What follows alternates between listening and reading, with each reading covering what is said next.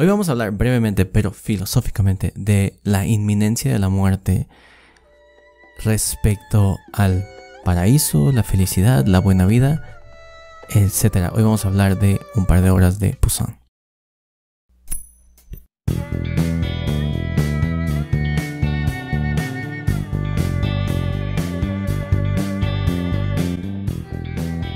Bienvenidos a esta, digamos, versión abreviada de estas reflexiones sobre pensamiento y creación que estamos haciendo. Vamos a irnos rápido porque solo vamos a, solo vamos a revisar dos obras, pero vamos a revisarlas con el pensamiento que hay detrás, ¿vale?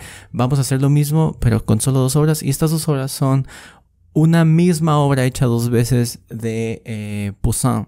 Poussin hemos hablado de él un poquito cuando hablamos de neoclasicismo y vimos que Poussin era una de las dos... Eh, de los dos caminos que va a tomar la Academia Francesa. Sin Poussin no hay Academia Francesa y sin Poussin probablemente no hay neoclasicismo. Así que vamos a hablar de él, pero no vamos a hablar de él, porque ustedes saben que para eso están las páginas de internet y, los, y los videos sobre las biografías de los pintores, que son muy buenos, pero aquí no nos sirven porque nosotros vamos a hablar filosóficamente del arte. Porque eso no es, no es nada más historia del arte, esto es filosofía del arte. Antes de seguir, quisiera, quiero agradecerle a toda la gente que comentó el último video, los últimos videos. De verdad, eh, si, si, si ustedes no me dicen estas cosas, obviamente no lo puedo saber. ¿no? No puedo saber la respuesta que están teniendo y si tres o cuatro personas lo están disfrutando, para mí eso es suficiente. Y si son ustedes que están comentando, dejando su like, yo se los agradezco mucho. Gracias por los comentarios, gracias por el apoyo. Ya viene video de Goya y de impresionismo. Primero impresionismo seguramente y luego un especial específico de Goya. Antes eh, de eso, eh, vamos a hablar un poco de Poussin. ¿Por qué vamos a hablar un poco de Poussin, un pintor del siglo XVII? Porque tiene un tema que a mí me interesa mucho y a ustedes también. Yo sé que ustedes también, porque si están aquí, están eh, esperando temas como este. Y son sus pinturas de Etin Arcadia Ego. Etin Arcadia Ego es una... Mm, en realidad se llama Los Pastores de la Arcadia. La Arcadia es este lugar mítico que se suponía un lugar en Grecia, pero que al final se toma como este lugar para algunos paradisiaco, ¿no? Virgilio va a encargarse de decir que en la Arcadia se vive pastore, ¿cómo se dice? Este, pastore, pastorilmente, pero además em, como la vida, la, buena vida, la vida del campo, la vida de estar en contacto con la naturaleza. Arcadia era un lugar en el que habitaba Pan, ya saben el, eh, que es una especie de dios de la naturaleza y, y es, un, es, un, es un fauno, es, un, es, es, una especie como de dios vulgar. Y vamos a ver, mucha gente va a decir, ¿cómo puede ser un dios vulgar y tal? Es un dios vulgar en tanto que vive en tanto los placeres, la música, todas estas cosas y él vive ahí. Ahora se dice, según las interpretaciones que se hagan de la Arcadia, que la Arcadia es un lugar paradisiaco o es un lugar donde se vive bien, o al menos ahí se encuentra la felicidad. Para otros es un lugar pedestre, un lugar lleno de ignorancia, donde la gente vive bien porque es ignorante. En cualquier caso, vive bien y es feliz. ¿Qué importa? Hay una cuestión muy filosófica en decir, ¿la ignorancia te hace feliz? Es decir, no saber las cosas del mundo te hacen feliz. Porque cuando empiezas a estudiar cosas de filosofía te empiezas a sentir mal. Mi respuesta para esas cosas es, ¿la ignorancia te da felicidad? Pues puede ser. No saber las cosas, no saber que las cosas están mal es una especie de estadio. Y si no sabes, ojos que no ven, corazón que no siente. Pero por otro lado, si estudiar filosofía te hace infeliz, también no está haciendo mal. Porque esa no es la intención de la filosofía desde antiguo. Mm. Entonces, Arcadia, pues, para irnos muy rápido, cosas que ustedes pueden googlear, yo ustedes saben que nos las vamos a saltar porque yo hablo mucho, entonces me pongo a explicar algo que pueden buscar y entonces terminamos hablando cosas y perdemos mucho tiempo y ustedes ahí están una hora enfrente viendo mi carota. Arcadia, véanlo entonces como un lugar paradisiaco, ya sea porque es un lugar donde se vive conforme a la naturaleza, donde se encuentra la felicidad, o donde uno es feliz porque es ignorante, ¿vale? Según las interpretaciones que, que nos gusten. Y en ese sentido, tenemos la impresión de que si habitamos en la Arcadia, habitamos de manera feliz. Poussin, que era un... Ustedes... Ahora, ¿por qué vas a hacer tu primer video solo breve de Poussin? Porque Poussin es un pintor erudito. Poussin es alguien que está... que... Ya lo veremos probablemente alguna vez, pero él se leía sus textos de Ovidio para poder pintar la escena que Ovidio contó. No se estaba imaginando cosas. No se dejaba llevar por lo que decían. era un pintor letrado. Y es un pintor que todos ustedes deben de ver, deben de admirar, deben de, revisar, porque es un pintor pesado. Poussin pinta dos versiones de esta de los pastores de la, Arcadia, eh, Etin Arcadia Ego, y el primero es el que ya está viendo en pantalla. Es una pintura un poco oscura, con mucha sensación de barroco todavía. Eh, todo está lleno, todo está, todos los espacios están llenos. Ahora, ¿qué es lo que está pasando? Estos pastores o van a la Arcadia o están en la Arcadia. Mm, las pinturas de eh, Poussin son muy interpretativas. Entonces, ustedes pueden ver en la pintura que es una composición hermosa, digamos un poco eh, se nota que son las primeras eh, las primeras intenciones de mostrar algo así de filosófico de Poussin. Y en esta primera versión pueden ver a los pastores encontrando una tumba. ¿Ok? Y ahí es donde se pone buena la cosa. Porque si todos somos felices y estamos muy a gusto, ya llegamos a la Arcadia y estamos muy, muy, muy felices y vivimos con naturaleza y comemos las frutas del arbolito, creemos que estamos en una especie de plenitud y probablemente lo estemos.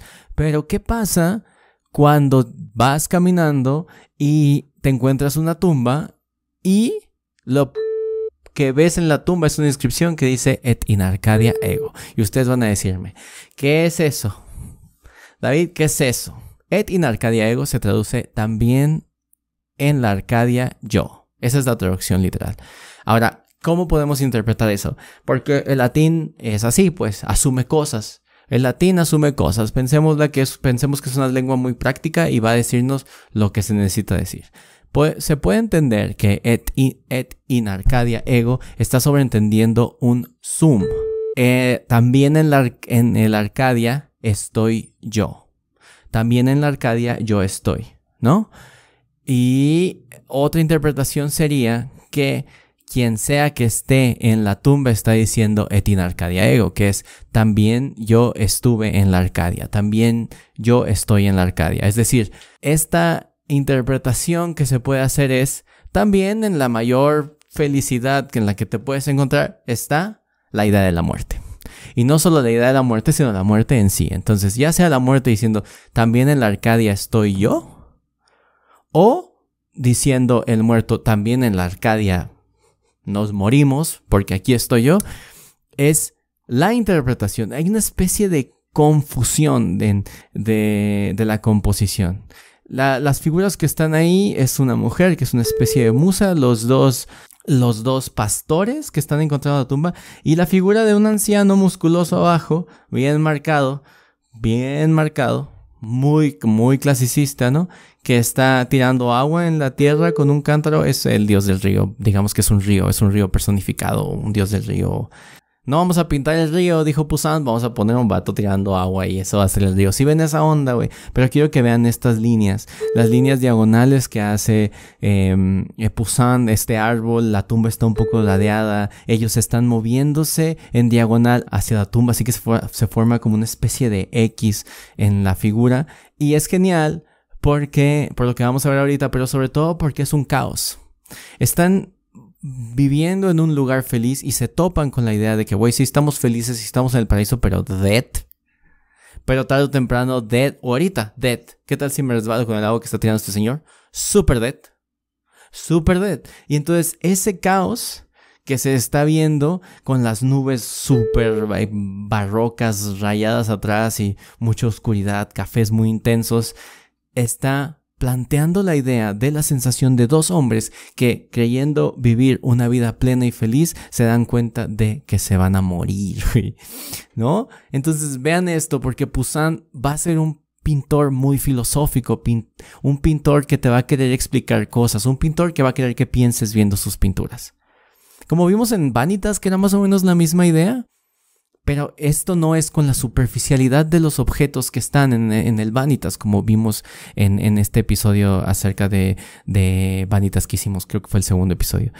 Eh, y van a darse cuenta aquí que ya no son las cosas que tienes, ya no es eh, que tengas un jarrón bellísimo o, los símbolos de las velas o el reloj o las burbujas. Lo que va a estarnos enseñando Pusan es, no importa si es por una vida superficial o por una vida natural, que, seas feliz, esa felicidad se va a ver interrumpida o por cuestiones de la vida o por la muerte. ¿Sí ven? Entonces es genial porque el, la combinación del caos de la composición, casi todo amontonado, no hay ningún espacio libre. Le valió chorizo, vamos a llenarlo todo. Órale, vamos a poner una pinche nube ahí, una blanquita, una nublada. Es un caos, es una pintura que podría quedar en una película de Zack Snyder. Más falta una cruz ahí al fondo. Pon una cruz ahí al fondo, Zack Snyder. Zack Snyder. Ponle a Batman, Zack Snyder.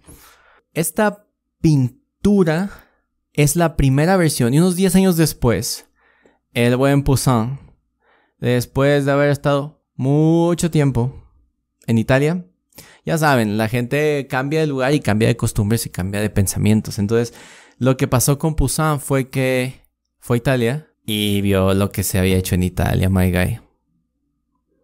Y entonces, a diferencia de lo que ustedes pueden ver en la pintura anterior, esta pintura tiene otros colores, tiene otra composición, es más abierta. ¿Por qué? Porque ustedes conocen a una tortuga ninja llamada Rafael.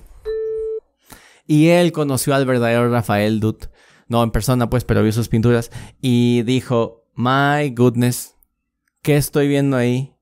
¿Qué clase de colores está, está pasando aquí? Me estoy dejando llevar. Valió chorizo. Y entonces empezó a generar una especie de naturalismo clasicista que va a devolver la idea de lo clásico a el mundo moderno. Por eso es que para la Academia Poussin es muy importante, la Academia Francesa, porque él es el papá de los neoclásicos. O sea, no hay David sin, eh, no David yo, sino Jacques-Louis David, sin el, sin el clasicismo de Poussin. Ya después vamos a ver que Rubens va a ser la otra parte, que también lo trabajaremos en algún punto, pero Rubens va a ser la otra la, contraparte, la que crea el romanticismo y el realismo. Entonces va a haber estas, estas, estas dos vertientes que no eran como nosotros, gente, no se peleaban tanto entre sí. La gente igual que ahora eh, las hacía pelearse, pero en general los eh, románticos, neoclásicos y realistas se llevaban bien. La segunda pintura, que es exactamente el mismo nombre, creo que vayan haciendo la comparación, gente. My goodness, por favor, comparen esto. Es exactamente la misma pintura, gente, pastores yendo a la Arcadia. Y entonces, ahora la figura de la morra se vuelve más importante, güey. Antes nada más estaba viendo ahí como detrás. Y ahora lo que, lo que decide es como, ay, mijos, se dieron cuenta. Pero miren qué se están dando cuenta. La imagen es la misma. Tienen a un señor ahí. Tienen a, ahora la versión de este hombre con la guirnalda es joven. Los pastores están ahí muy, muy atentos. Miren los colores de la ropa. Los colores de la ropa ya son totalmente renacentistas otra vez. Son totalmente clasicistas. Es Rafael otra vez todo está dulce en los colores, como, como esos colores como con, con luz en, en, ciertos costados, oscuridad en otra, pero siempre recibiendo unos colores así casi, casi pasteles, no sé qué, así casi muy coloridos, pues medio asquerosones, pues. Medio rafaelescos. Medio, medio, qué flojera me das. ¿Sabes? No estoy diciendo que no me gusta Rafael, Rafael es, es, es bien, pero estábamos empujando por otro lado con el, con el barroco, ¿no?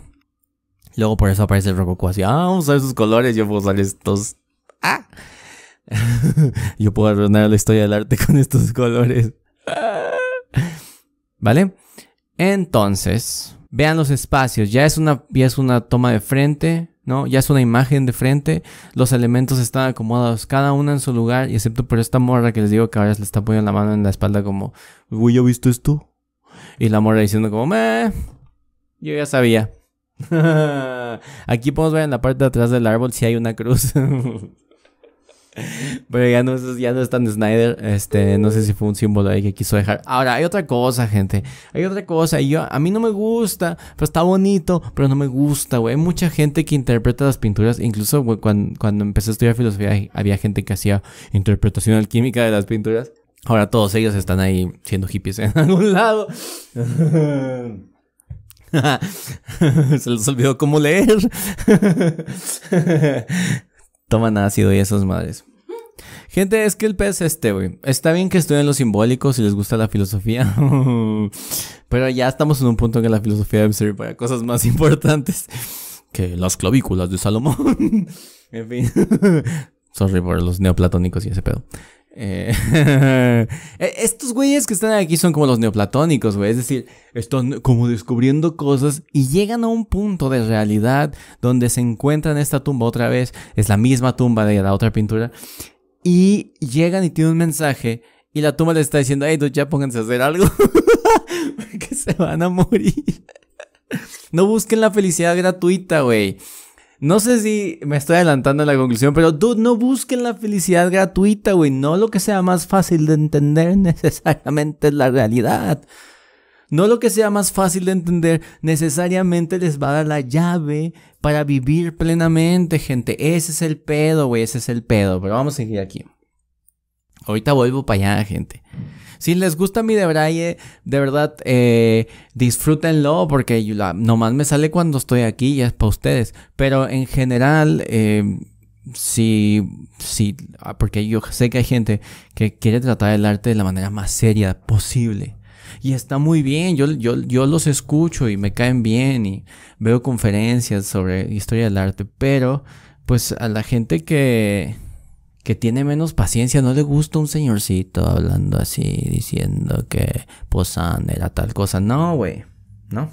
En fin, estas interpretaciones eh, medios extrañas buscan, por un lado, o buscar símbolos alquímicos dentro de la pintura, que está muy bien, y otros, como en este caso, que intenta buscarle una descripción geométrica, ¿no? Si ustedes ven y hacen un círculo perfecto, em circo encirculan o ponen dentro de ese círculo perfectamente a todas las figuras.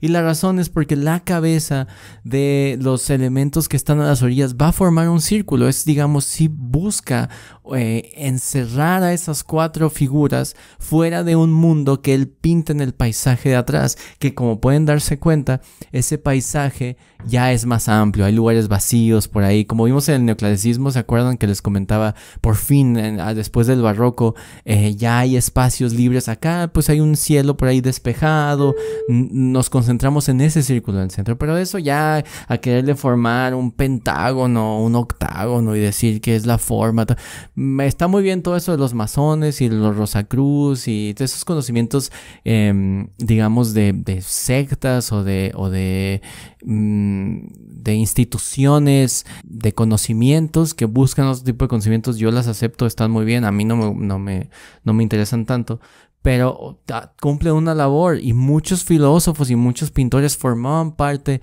de, de estas cosas, pero cuando se trata del arte, yo intento que ustedes vean cosas más o menos visibles, cosas que, están ahí, cosas que el símbolo del mito nos da. El mito nos está diciendo más que todas las figuras que nosotros le queramos interpretar a Poussin, ¿ok? Si están ahí, puede ser, no nos interesa en este video, en esta serie de videos, porque nosotros queremos saber por qué se pensaba de cierta manera y cómo se interpretaba en la pintura. Y eso es algo que está haciendo Poussin aquí. Vean ustedes que están batallando para interpretar la línea, una sola línea que está ahí. La razón es por esta cosa puede ser interpretable de la ignorancia. Y entonces cuando este güey por fin lo, lo descifra y pueden ustedes ver cómo exactamente la sombra de la cabeza, güey, del vato que está leyendo está cubriendo la frase.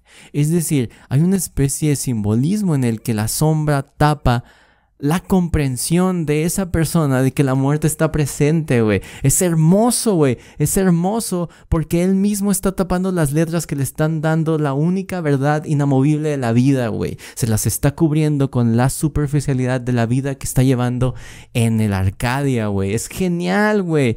Pusan no es un pendejo, güey. Si, si, si algo es Pusan, puede ser cualquier cosa, pero no un pendejo, güey. Y el vato está tratando de leer, pero al mismo tiempo él está cubriendo con su sombra la verdad, güey. Nuestra vida superficial, asquerosa, donde nosotros decidimos, casi por un constructo social inventado para nosotros, ¿qué es la felicidad?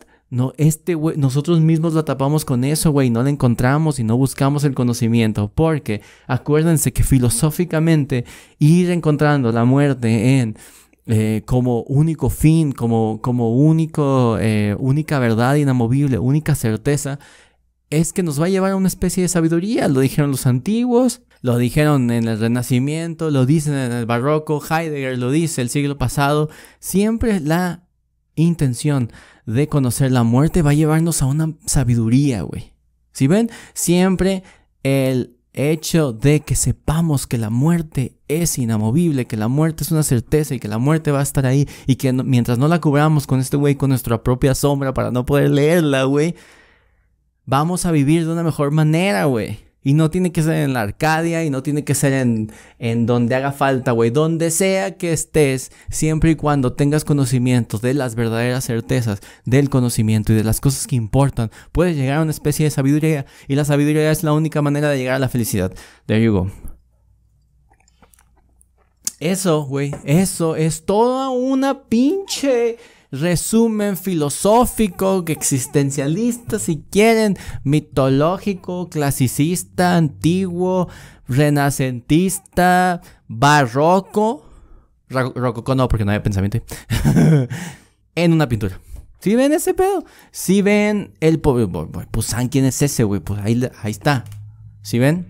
Entonces, en esta pintura entonces es una manifestación hermosísima de esta situación del hombre. Y vean la diferencia entre este cuadro y el anterior. Este cuadro y el anterior, existe una diferencia en, los personajes. Los dos están leyendo. Aquí ya se dieron cuenta. Aquí ya se dieron cuenta. Ya lo leyeron y es como, güey, ¿ves esto, güey? Tanto para nada, güey. O sea, o sea, no hay diferencia aquí. Nos vamos a morir, güey. Porque, pues, acuérdense que la única diferencia entre un dios y un hombre es la inmortalidad. Es decir, el dios no muere, y el hombre sí. Y en ese sentido, el Dios es Dios en tanto que inmortal y no hay más. Y la única forma de aspiración a lo divino del hombre es la inmortalidad. Excepto que en ese sentido, la inmortalidad va a ir con una carga respecto a la permanencia de lo físico del hombre. Porque el Dios nunca se separa de su forma física y su forma espiritual. El hombre sí, esa es la muerte, eh, según los antiguos. Al grado que si te vuelves eterno como hombre, terminas convirtiéndote en una pasita, en una pasita, en una cigarra. Vean cómo pues en este círculo central donde el centro es la cabeza del hombre tapando la frase et in Arcadia ego, está toda la explicación, la, incertidumbre de los hombres. Ustedes pueden ver como la incredulidad del de rojo. ¿Ves esto? Y el otro güey todo así queriendo taparlo, güey, queriendo no entenderlo, güey. La imagen de esa sombra tapando las letras es, es, es crucial para mí. Entonces, estas pinturas que ustedes ya, ya vieron son de eh, Nicolás Poussin, entonces piensen ustedes un poco en estas pinturas y véanlas y siéntanlas. Como les digo, no solo las vean, siéntanlas, están viendo toda una composición filosófica dentro de una pintura. Y se puede ver, ustedes no necesitan los rayos X del dibujo para saber. Al final, lo importante es el resultado que está ahí. Que a veces alguien más le metió mano y tapó una calavera en algún lado, tal. Eso es diferente. Y, y sí importa. Pero por ahora, vean estas dos pinturas que son canon de la belleza. La belleza que fue presentada um, por los antiguos, por los griegos, de qué era la belleza, qué era el arte, cómo tenía que ser. Lo que hizo Poussin fue decir, bueno, si ese es el, si ese es el canon hay que seguirlo. Y lo siguió. Y no solo eso, buscó los elementos, los mitos perfectos para contar historias que convenían al, a su presente. Y que en cierto sentido, Etinarcadia Ego nos conviene a nosotros, nos queda, nos, nos toca. Porque como he criticado en toda esta serie de videos, vivimos en una época rococó, en una época pastel, en una época en la que no nos importa el contenido, no nos importa entender el mundo a partir de las cosas, sino nos importa que nos entiendan a nosotros, como si nosotros fuéramos a perdurar lo mismo que la cultura, y no es así.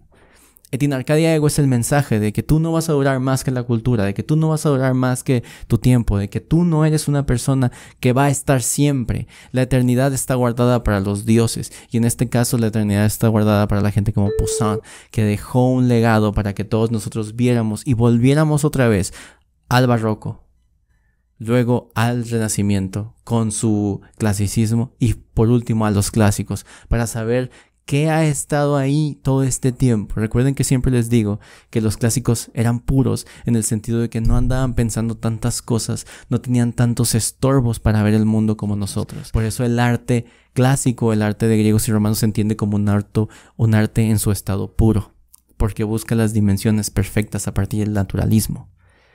Poussin entiende que lo que está bajo el sol debe pintarse, así como entendió después Courbet, aunque Courbet quiso ser más trágico. ¿Sí ven? Entonces, lo que él hace es representar lo que está en el mundo, pero no solo lo que se puede ver en la realidad, sino lo que se puede percibir del mundo mismo. Entonces, es así, pues, que Etin Arcadia Ego es un mensaje para nosotros, incluso después de muchos siglos, de que no importa qué entendamos como plenitud, no importa eh, si creemos que estamos en el lugar en el que somos felices, no importa que em, estemos por el contrario mal, hay que recordar que también en la, Arcadia la gente se moría. Ahí también existía la muerte. Si existe la muerte en el lugar más natural, más pastoril, o más ignorante, o más feliz, o en el paraíso mismo, como pensaban los románticos y toda la literatura que tomó Arcadia como algo bello, entonces en ustedes, en la situación en la que estén, también está la muerte, güey. Y por eso o nos toca vivir para ponernos a hacer algo o esperarla ahí viviendo en la ignorancia, bebiendo y haciendo cosas inútiles o muy útiles o útiles para otros pero no para nosotros. Supongo que el mensaje aquí es, también donde sea que están ustedes, existe la muerte. Ah, sorry, dead.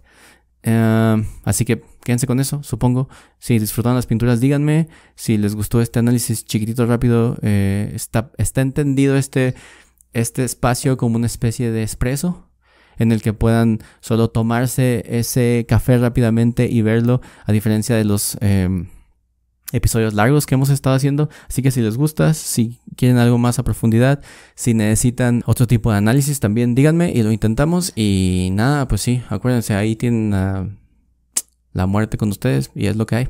Salud. Sí, un poquito, ¿no?